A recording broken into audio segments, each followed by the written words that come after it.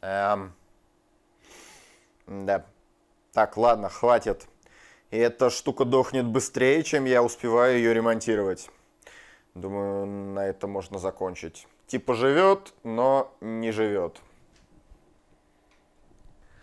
В процессе работы над проектом GIP 10 тысяч на стероидах мне написал мой подписчик Сергей и предложил некий индикатор под названием EMG301 и некоторое количество плат для него. В фотографиях я узнал анодные и катодные драйвера и дал добро на пересыл. Индикатор наконец-то оказался у меня. ГИП 10 тысяч на стероидах я завершил и пришло время оживлять EMG3. Как вы понимаете, оживление получилось скорее неудачным, чем удачным. Э, пациент скорее труп, чем живой. Он очень долго путешествовал по различным полкам у Сергея. Э, был сильно поврежден, и самое главное, здесь комоповская логика, которая дохнет от любого прикосновения. Но обо всем по порядку. Индикатор MG3 представляет собой тайл из четырех плиток размером 2 на 2. На базе этого единичного модуля предполагается собирать экраны больших размеров. Скажем, во всю стену, как, например, вот эта фотография из какого-то командного центра Вооруженных сил Российской Федерации – или экранчики поменьше, например, размерами 16 на 8 или 8 на 8. Причем в каждом случае узнается блок 2 на 2. Что интересно, в Российском центре управления полетами вплоть до 2015 года сверху статусная панель была собрана именно на газоразрядных индикаторов. В их случае на двухцветных ИГГ 16464М в 2015 ее заменили на более современный индикатор, но при этом электроника 7 остался на своем месте. Как говорится, работает не трогай. Вы круто ошибаетесь, если думаете, что в Советском Союзе, кроме ИГПП 32 на 32, других газоразрядных индикаторов не выпускалось. Эти газоразрядные панели лишь малая толика той номенклатуры, которая выпускалась. Огромное спасибо Николаю за то, что решил избавиться от своей коллекции газоразрядных матричных индикаторов в пользу пополнения моей коллекции. И в верхнем левом углу ринга уже привычный вам ИГПП 32 на 32. Этот индикатор только зеленого цвета. Позднее он, кстати, стал называться ИГГ1 32 на 32L, где L означает зеленый. Удваиваем количество пикселов. IgG1 6464M. M значит многоцветный. В данном случае всего два цвета. Зеленый и оранжевый. Шашечкой. Сзади видим контакты для подпайки или для погопинов. 1.64, 1.64. 92 год, я полагаю. Ну, точно не 92 неделя. ОТК-8. Изменения пока отсутствуют. Дальше вы увидите, о чем это я.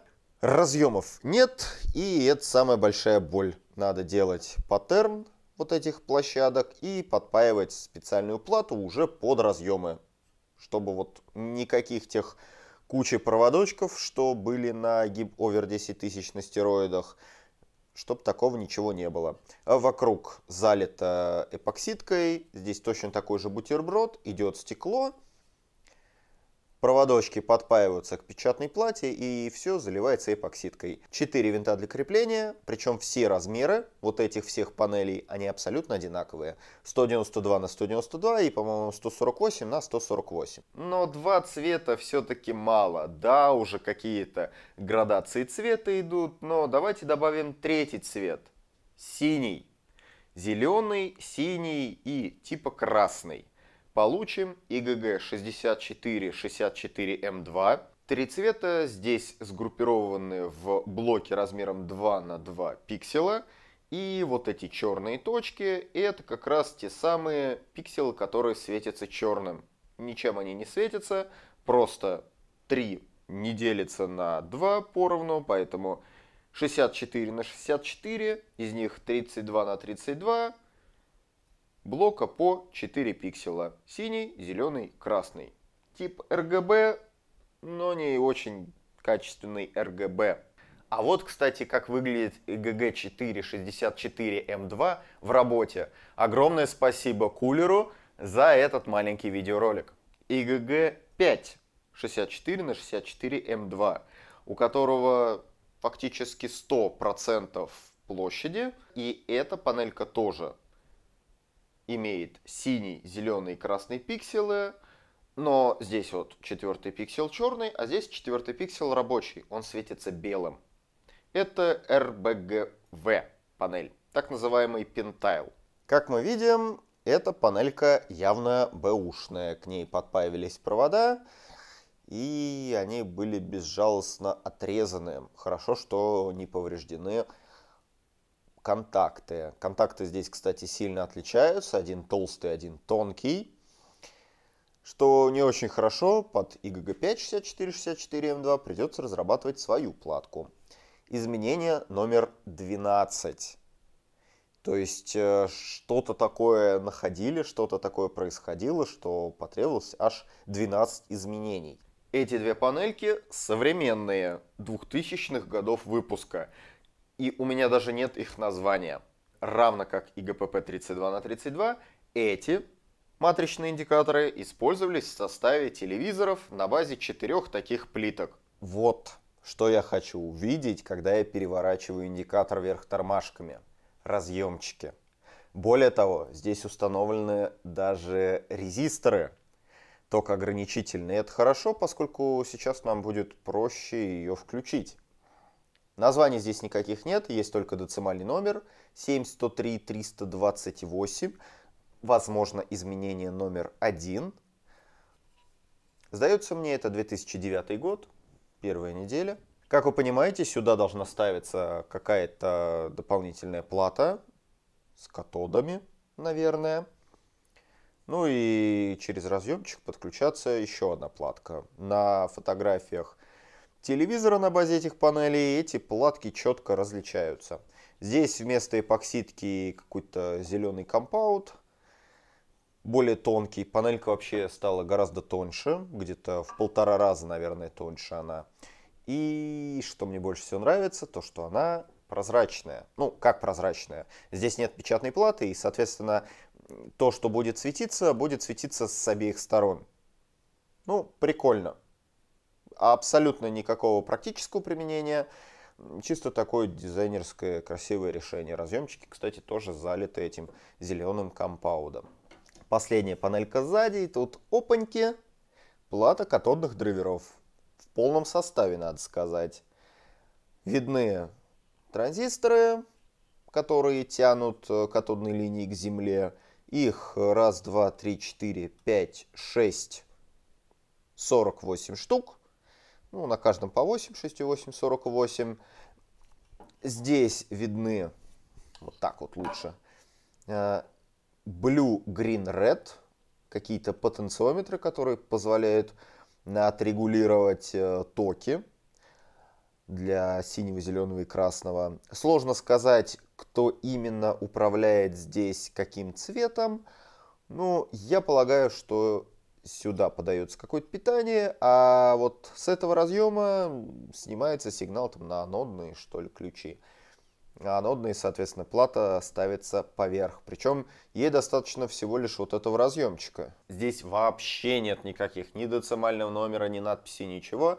Дата-коды 2000 для 595 и вот здесь ирка какая-то стоит 2004 года, то есть панель тоже довольно свежая. Наконец-то индикатор и его плата оказались у меня. Разложил я их на столе и стою смотрю. Что же мне с ними делать, как все это дело собирать? Шлейфов соединительных нет, их, наверное, надо как-то городить. И что-то как-то подозрительно мне показалось вот эта плата. Окна какие-то зачем-то. Да, я думаю, я ее вот так положу. Хм. Ну-ка, ну-ка, ну-ка. Это значит анодные. Так, ну-ка, ну-ка. Это вот сюда. Так, это катодные, центральный управляющий слева-справа катоды. Так, здесь всего один разъем, это вот сюда. Так, так, так, ну-ка, ну-ка, ну-ка. Еще одна катодная плата тоже сюда. Так, так. Хоба! А оказывается, никаких шлейфов и не надо. Все прекрасно собирается непосредственно на разъемах. Модуль такой получился. Все уже на месте. Анодные драйвера, тут катодные, плата управления. Разъемчик тут для подключения к вышестоящей схеме управления. И все. Никаких проводов, ничего не надо. Красота же. Красота. Рассмотрим сию девайсину поближе.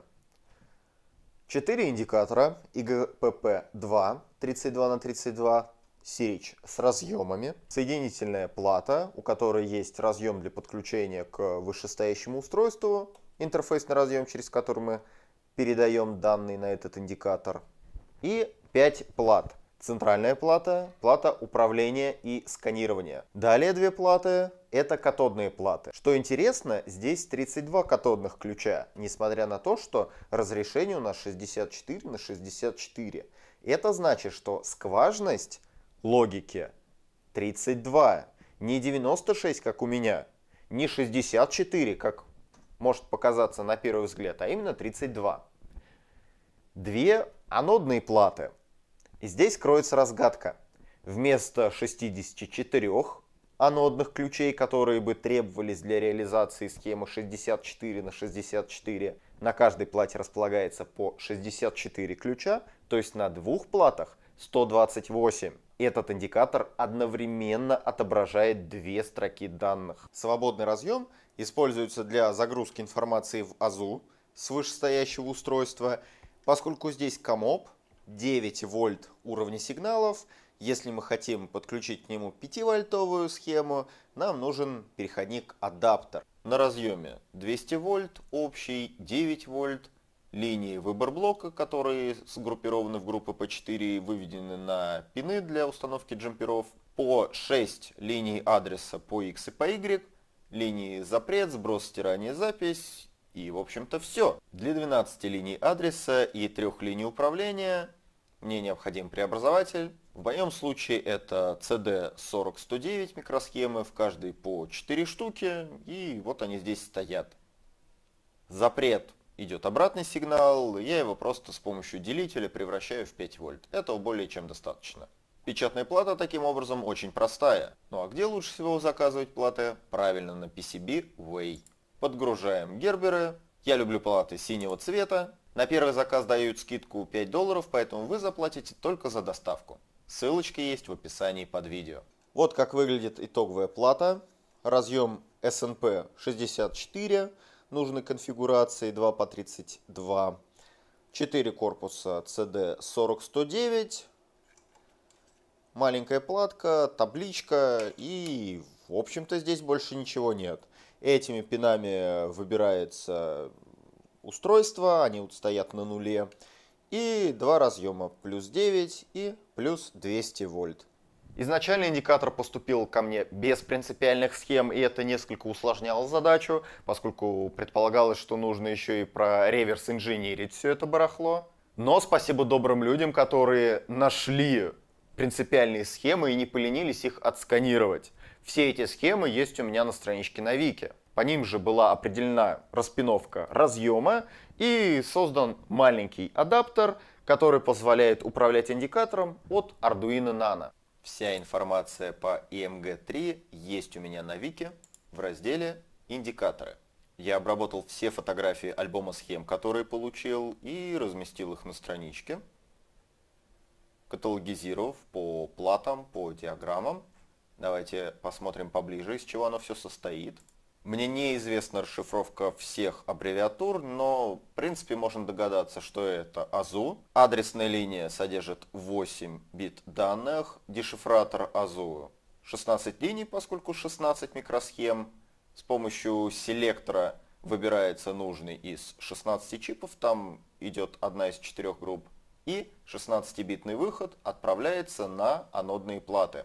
Интерфейс доступа здесь однобитный. С помощью входов AX1, AX6, AY1, AY6 выбирается, соответственно, столбец и строка. И в зависимости от того, что вы хотите сделать с выбранным вами битом, вы подаете сигнал записи или стирания. Тактируется все от генератора тактовых импульсов. Он перебирает счетчик столбцов, счетчик строк и, соответственно, подает нужный адрес на АЗУ. С выхода все подается на блок регистров. В итоге 8-битный интерфейс доступа к блоку регистров преобразовывается в 64-битный набор данных, на основании которых зажигаются те или иные аноды наших индикаторов VL1, 2, 3 и 4.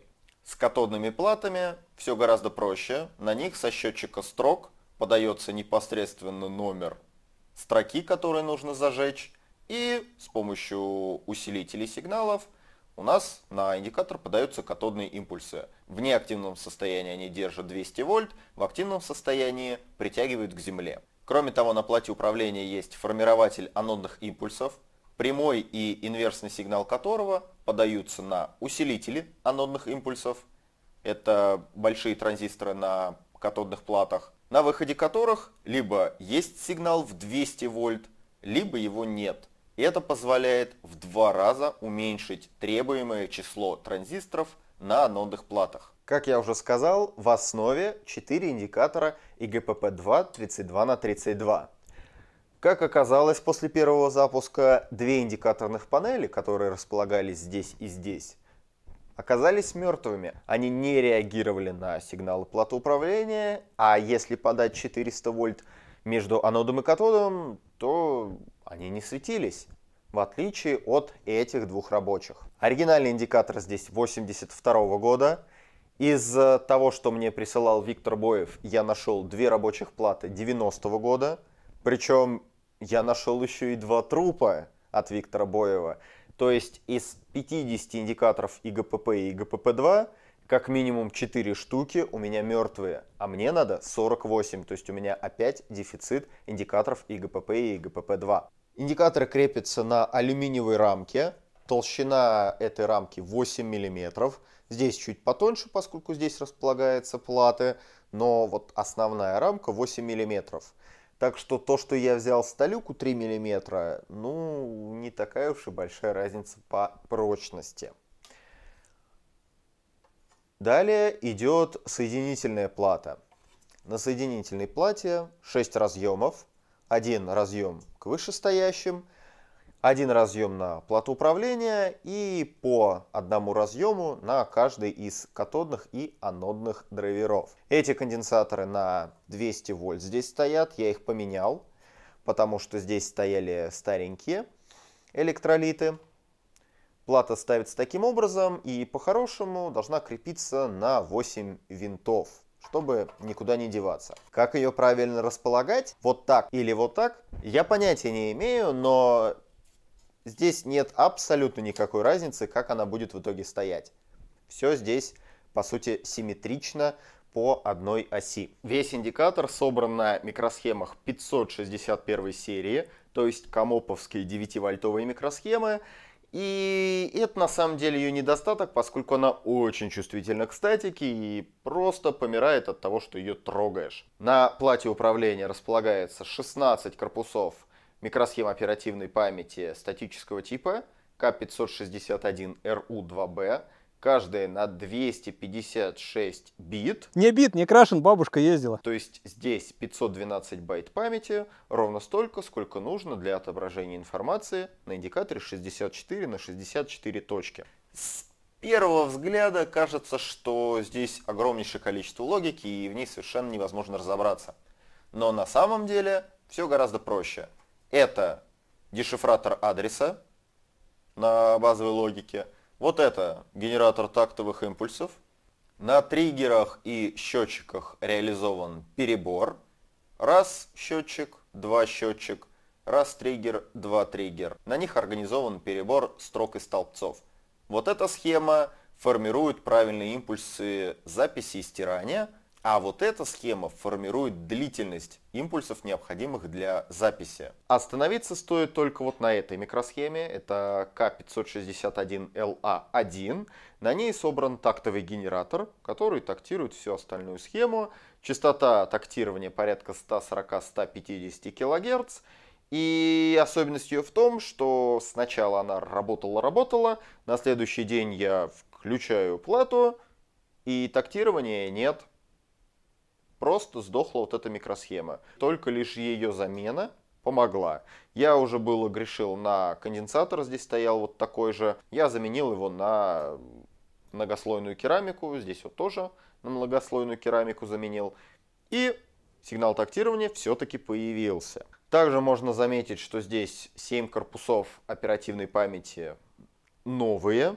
Ну, вернее как, они отличаются от тех, которые здесь стоят. Связано это с тем, что да, я их поменял. После того, как я вывел тестовую картинку шашечками, правая половина индикатора в целом хорошо отображала картинку, кроме одной линии, то есть 7 микросхем АЗУ из 8 работали хорошо, а вот левая сторона, там все было хуже. Там 2 из 8 каналов работали нормально, поэтому я заменил 7 корпусов микросхем, но привело это не к восстановлению работоспособности АЗУ, а к полной деградации всех остальных микросхем.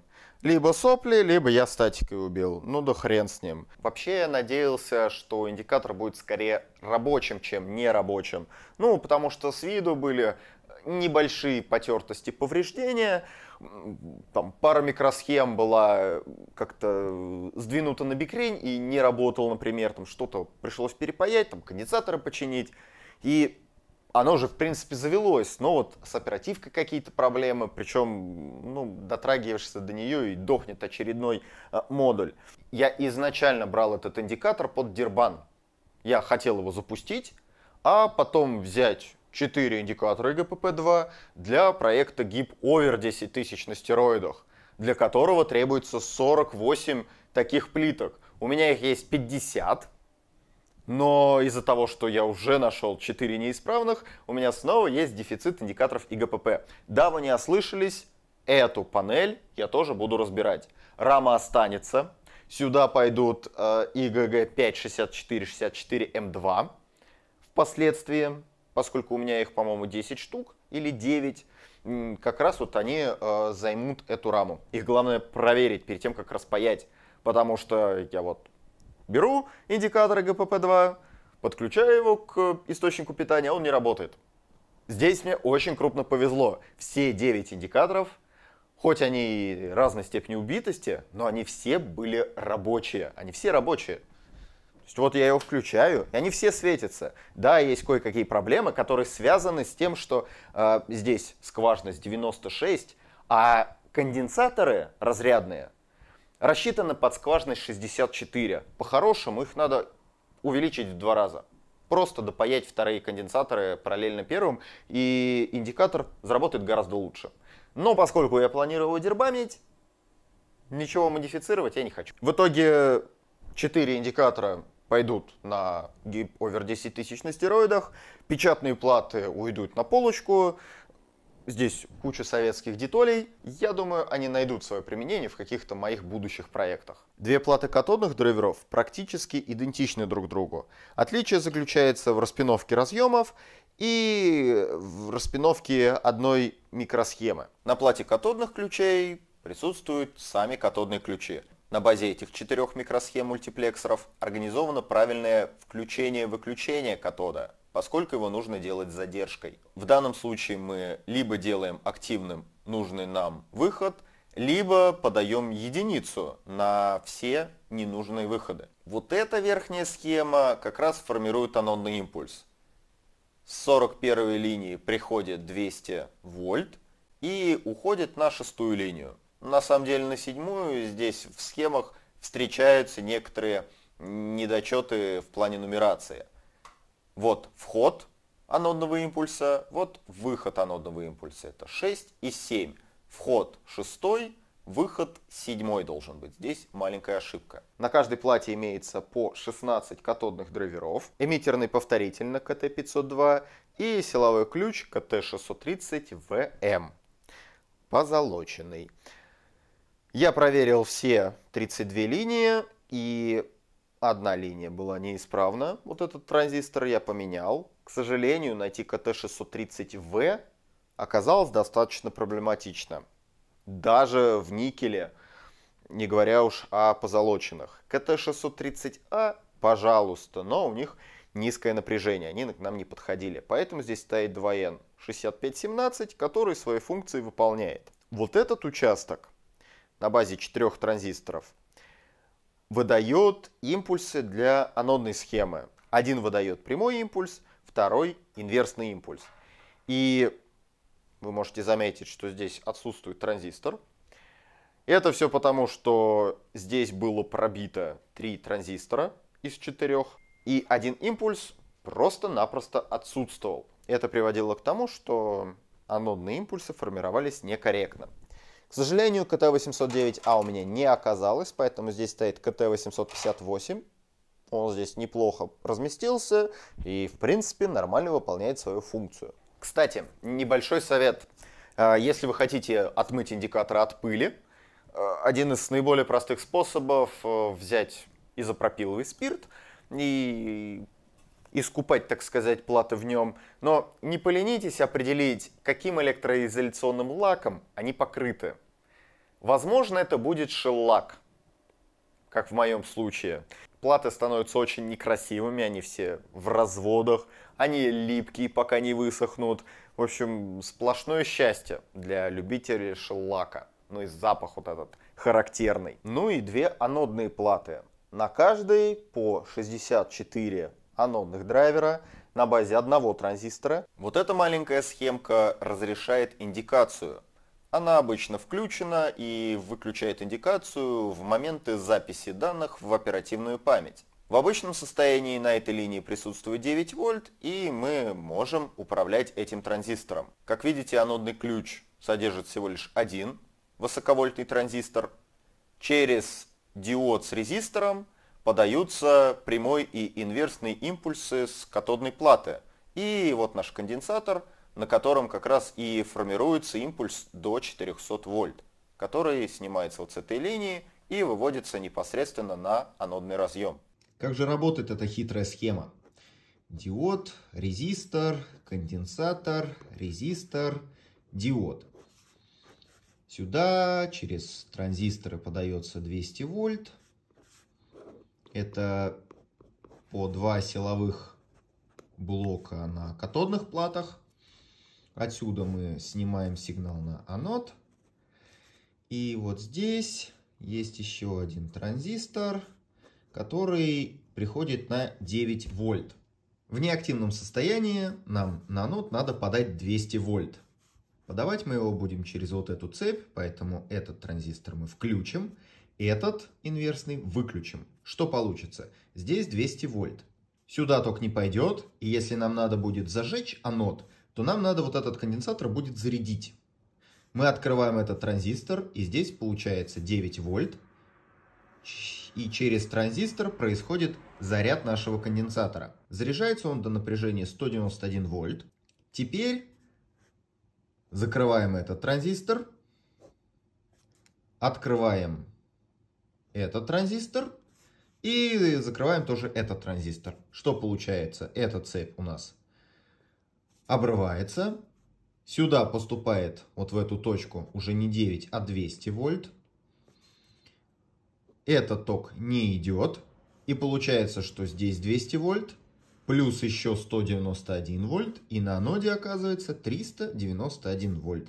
Кстати, эта схема реально имеет смысл для повторения в гип овер 10 тысяч на стероидах, да и в драйверах для цветных индикаторов, поскольку вместо 64 транзисторов при двухтранзисторной схеме на ключ, здесь потребовалось 32 транзистора на анодной плате и по 4 транзистора на катодной плате.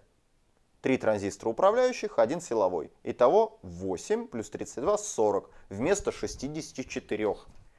А здесь 128 ключей, нам бы потребовалось 256, а здесь всего лишь 136. То есть в два раза уменьшается требуемое число транзисторов. То есть схема реально имеет смысл. Мне нравится такой подход. Вот тут можно заметить горелый резистор. Те самые не горящие анодные линии это либо пробитые транзисторы, либо не работающие ключи. Платы немножко пострадали и пришлось поменять разбитые конденсаторы на живые. Вот эти линии, кстати, работают в итоге. Был разбит еще трубчатый конденсатор блокировочный на регистре, тоже поменял. И, в принципе, все. Кстати, все платы пронумерованы. Когда индикатор показывал только две линии, у меня была дилемма, правильно ли я поставил платы в порядке нумерации. То есть вот разъемы, куда их ставить. Где должен быть первый? Здесь? Второй, третий, четвертый, пятый. Или здесь? Первый, второй, третий, четвертый, пятый. Я изначально рассудил, что вот эта плата, вот этот разъем будет шестой платой, поскольку там тоже должна быть небольшая платка соединительная, и расположил 1, 2, 3, 4, 5. Когда я проверял распиновку этих разъемов, я лишь убедился в том, что я оказался прав. Ну и на это у меня пока все. Сорян за такой долгий нудный ролик. Следующий будет гораздо интереснее. Мои спонсоры на YouTube и Патреоне знают, о чем я говорю. Подписывайтесь на канал, а также на Телеграм, Инстаграм и по всем ссылочкам, которые есть в описании под видео. Ставьте видео лайк, делитесь в соцсетях. Если есть вопросы, пишите их в комментариях. Огромное спасибо всем, кто поддерживает меня на YouTube и Патреоне, а также различными железками. В этот раз отдельное спасибо Евгению К за подгон двух видиконных камер КТП-63.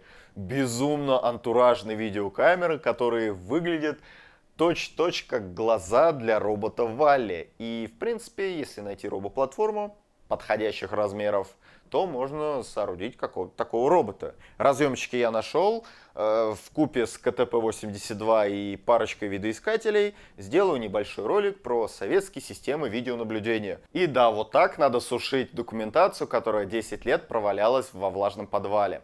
Еще спасибо Александру К. за документацию на имеющиеся у меня измерительные приборы. Я вообще наткнулся на объявление на Авито, написал продавцу, он такой, Артем, а у вас часом канальчика на ютубе нет? Я говорю, да, это я. И он совершенно бесплатно выслал мне некоторое количество документации. Здесь техническое описание и схемы. Да, большая часть есть в сети, но эти схемы гораздо лучшего качества, чем те дожавюшки, которые по сети гуляют. Они очень помогут в оживлении некоторых э, моих экспонатов, например, S1 64. Еще без внимания остался Илья Г., который перед Новым годом задарил мне кучу различного тяжелого железа, накальные трансформаторы, парочка анодников, магнитный усилитель и трубочку для рентгена, которая у меня просто на полочке будет стоять, не переживайте, свинцовые трусы я покупать не собираюсь. Эм, видос куда-то делся, поэтому как-нибудь потом покажу. А вот про магнитный усилитель как-нибудь будет отдельный видос, потому что это очень интересная штука. Ну и спасибо всем, кто меня смотрит, делится моими видосами. И всем пока!